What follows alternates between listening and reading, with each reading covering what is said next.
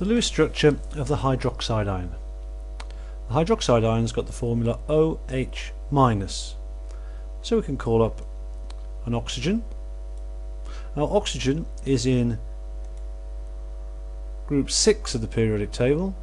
It therefore has 6 outer electrons. We can give it its 6 outer electrons to start off with it doesn't really matter which way around we do this.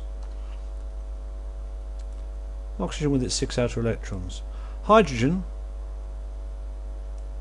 which makes up the hydroxide ion, has only got one outer electron.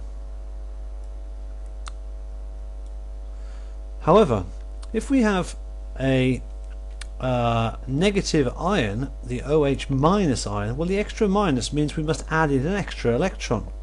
So to get the minus charge we bring in an extra electron and this extra electron can form a pair with the hydrogen to bond the hydrogen to the oxygen. So this is a representation of the OH minus ion.